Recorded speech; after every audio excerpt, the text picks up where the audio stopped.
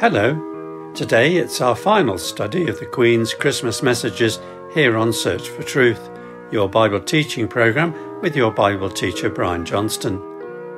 Our short series about our late Queen Elizabeth's Christmas messages is now to be completed. And today, Brian's looking at the Queen's guiding light. Christmas is now here, so I've chosen again for us to enjoy a traditional Christmas carol, Hark the Herald Angels Sing. We'll hear it after Brian's talk, so feel free to join in if you know the words. It'll be unusual this Christmas Day not to have a Christmas message from the Queen, but the media is saying that King Charles III will give his first Christmas Day speech this year and will no doubt speak about losing his mother. We'll have to wait and see, they say, if he has the same warmth and twinkle in the eye as Elizabeth. I wonder too if he will reflect upon the true reason for this season or the fact that the King of Kings was born as a human baby in Bethlehem that first Christmas. Will he make any mention of his own faith, I wonder? We'll just have to wait and see. The character of a man or woman becomes more exposed when they are elevated to a position of power.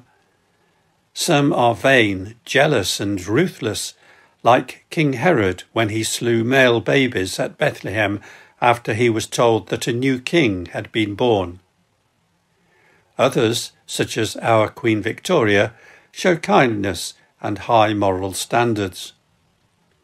Whether we are of noble or humble origins by birth, the Word of God sums up our place in the great scheme of things. Ecclesiastes 3 says, There is a time for everything and a season for every activity under the heavens, a time to be born and a time to die, a time to plant, etc., etc. And the poet Thomas Gray expanded on that with the boast of heraldry, the pomp of power, and all that beauty, all that wealth e'er gave, await alike the inevitable hour. The paths of glory lead but to the grave. That's from an elegy written in a country churchyard.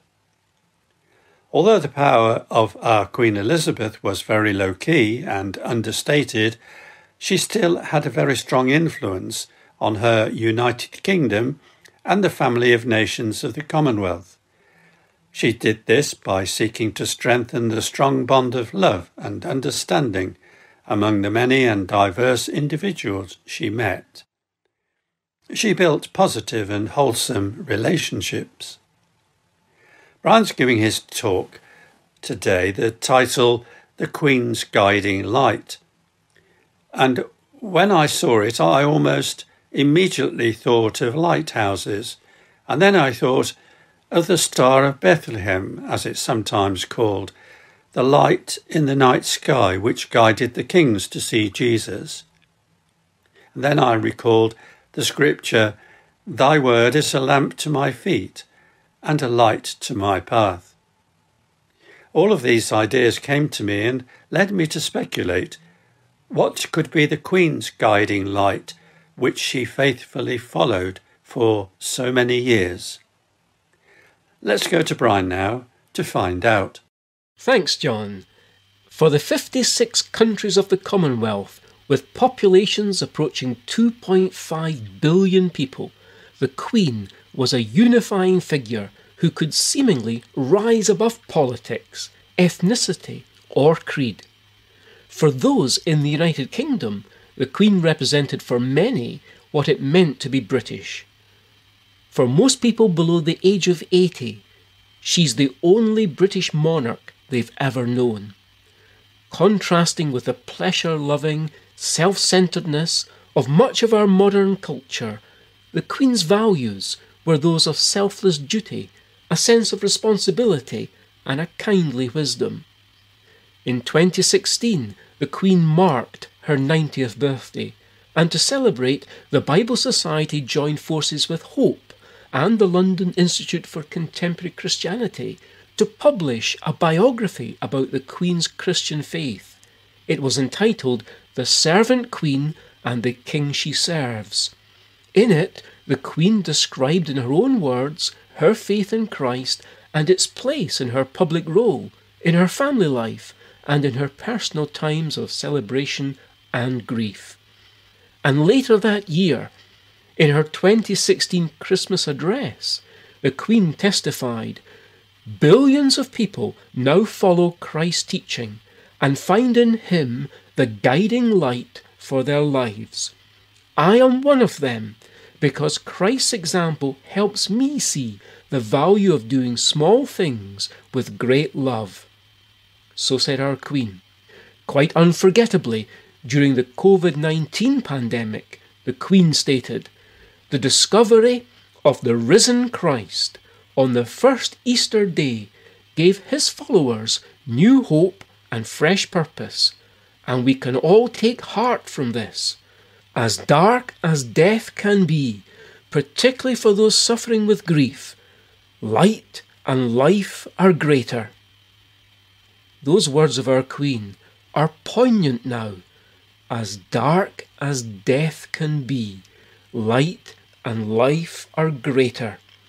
The Queen has now herself walked the way of the valley of the dark shadow of death. Her final journey, as many newspapers styled it, but based on her personal profession of faith, her experience now is one of light and life. The Bible assures us that the Christian believer has an inheritance waiting for him or her in the realms of light when this life is over. It's a living hope, secured by faith in the resurrection of Jesus Christ, who abolished death and brought life to light through the gospel. By her own testimony, Jesus Christ was our Queen's guiding light. A popular Christmas reading is taken from the beginning of John's Gospel, where we read, In the beginning was the Word, and the Word was with God, and the Word was God.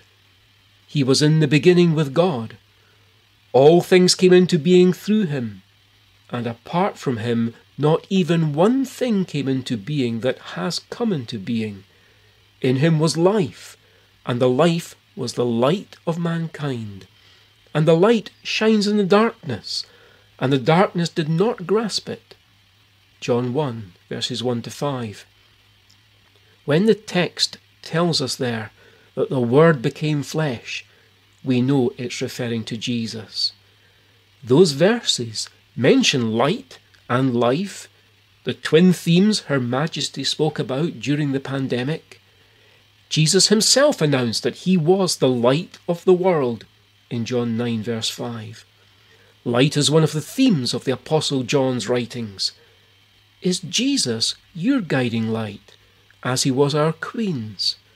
How true are the words of the famous Christmas song, Silent night, holy night, Son of God, love's pure light, radiant beams from thy holy face, with dawn of redeeming grace, Jesus Lord, at thy birth, Jesus Lord, at thy birth. Well, as we wish everyone a happy Christmas, and talking of happiness, it seems fitting at this point to recall that the Queen was known for her warm wit and sense of humour, often delivered with a twinkle in her eye. Then there was the Queen's opening ceremony at the 2012 Olympic Games. At Buckingham Palace, she and two pet corgis met James Bond in the form of the actor Daniel Craig. Then, travelling by helicopter to the London Stadium, she and Bond both of them portrayed by actors, parachuted down into the arena full of awaiting spectators. And more recently, marking her 70th Jubilee, the Queen also made a royal cameo appearance in which she had tea with Paddington Bear, during which we finally learnt what she kept in her royal handbag. A marmalade sandwich, of course. Now I wonder What'll you be having for Christmas dinner?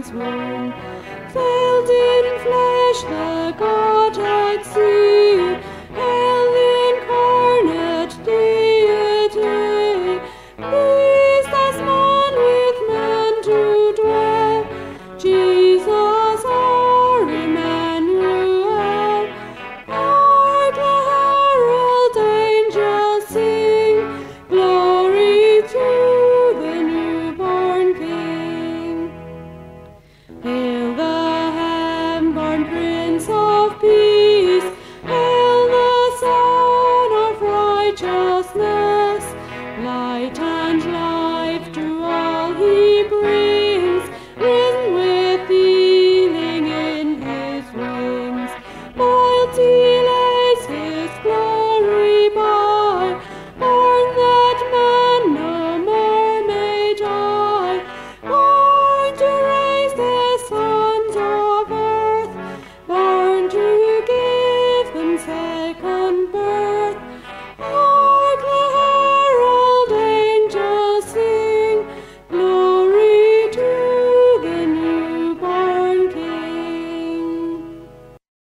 So, once again, I hope you enjoyed today's talk. And if you've got a question about any of the talks in this series, then do write in to sft at churchesofgod.info and discuss it with Brian. I'd like to remind you there's no book for these talks, but availability will resume when we begin the next series in the new year. If you want to write in to us, here's our address. Search for Truth, Hayes Press, The Barn, Flaxlands, Royal Wootton Bassett, Swindon SN4 8DY UK. Our email address is sft at churchesofgod.info. Now, you may be interested to know uh, that if you go to the website I just mentioned, that's uh, churchesofgod.info forward slash media, you can listen again to many of these broadcasts off air, that is, by audio podcast or MP3 versions. So why not have a go? See what you can find to enjoy. Now, many thanks indeed for the pleasure and privilege of your company today, and I wish you every joy and blessing from God this Christmas. Next week, God willing, we'll be close to the new year, 2023, a time of anticipation and new opportunities. I'll hope you'll join me if you can, same time next week. But for now, it's goodbye from our Bible teacher Brian, our producer David, our singers, and me, John. So see you again soon, and once more, we wish you a very happy Christmas season and God's richest blessings. Hark the herald angels sing.